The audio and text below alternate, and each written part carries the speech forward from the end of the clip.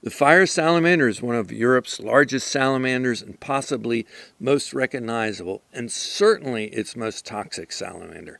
It is black with primarily yellow spots that may appear as orange or with some additional red. It has two very conspicuous parotoid glands, which are the large swollen glands on both sides of its head, and it has two rows of glands that are also capable of releasing toxic fluids on both sides of its back or dorsal surface. This salamander species is unique in that it can spray toxins from these front parotoid glands into the eyes or mouth of an attacker. The spray can reach up to a foot or 12 inches